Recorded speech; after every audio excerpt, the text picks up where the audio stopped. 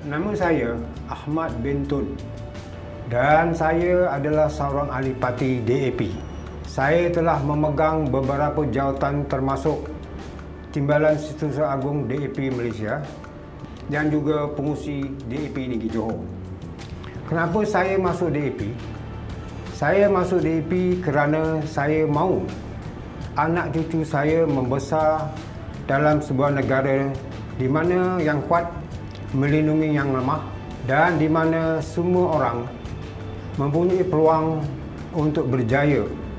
Seperti yang tertulis di dalam deklarasi Setapak tahun 1967, DAP adalah parti yang berasaskan prinsip-prinsip kemasyarakatan, keadilan sosial dan ekonomi dan terbina di atas institusi demokrasi berparlimen.